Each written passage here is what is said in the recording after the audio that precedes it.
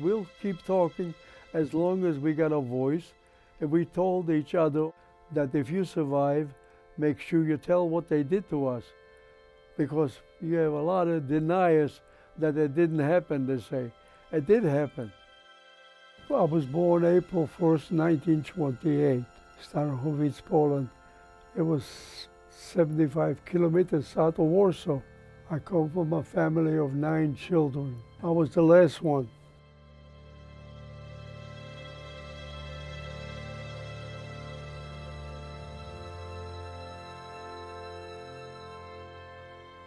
And my mom told the girls they can't go nowhere. They have to stay put. We were like the third, fourth house from the synagogue. I was right there in the ghetto from October 40 to October 42. And that's when they had that selection. They took the people away to uh, Treblinka. Almost half of our population they separate us from. On top of a stone quarry, they built for us a slave labor camp. For one more year we stayed there. One of my sisters, and she became a tailor. The high-ranking officer came to the tailor shop and he told them, next week you must have all these things ready because all of you are going to be deported. And the tailors, in the meantime, organized an escape.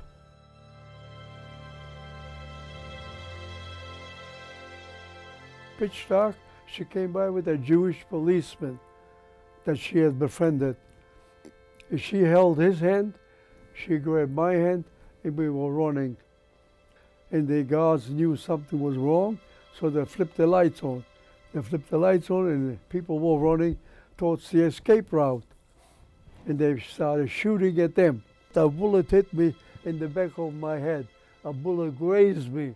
I had mind not to go back to my barrack where I belong, to go into the women's barrack looking for my sister Fege, because the other two, one of them died of typhoid in this slave labor camp, and one of them high fever.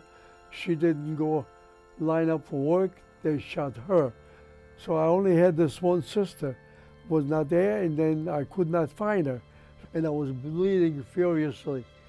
And that's when my cousin, when I was in the woman's barrack, she says, let me help you. Your sister's not here.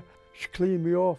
She stopped the bleeding with a dry rag, and she told me to put her uh, beret that she was wearing on top of me. She put it on my head, and the bleeding stopped.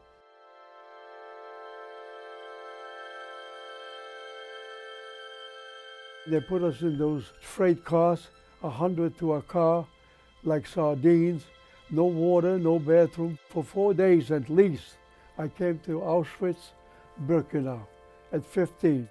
The first thing they did is they took away your name and they gave you a number.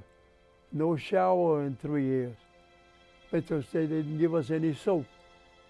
In the summertime, we would undress from the waist on up, a man, and he didn't have any soap.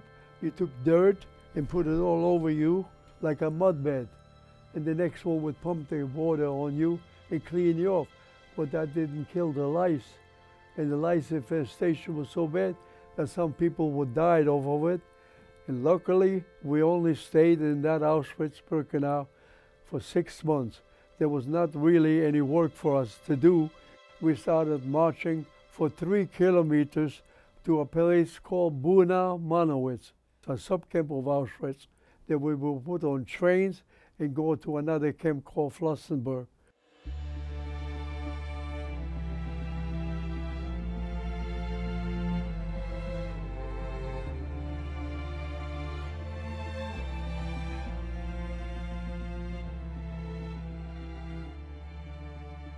Until the hatch opened up, and the hatch opened up, and the beautiful man came out of the hatch, crew cut, America written here in a uniform, put his hands on his mouth. He says, we are Americans and all of you are free. I was 17 years old at that time by myself. And they said I weighed 75 pounds.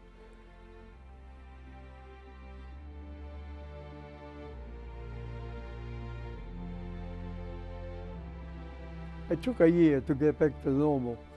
I want people to remember to don't be bystanders. Whenever you see anybody is doing injustice to a human being, speak out.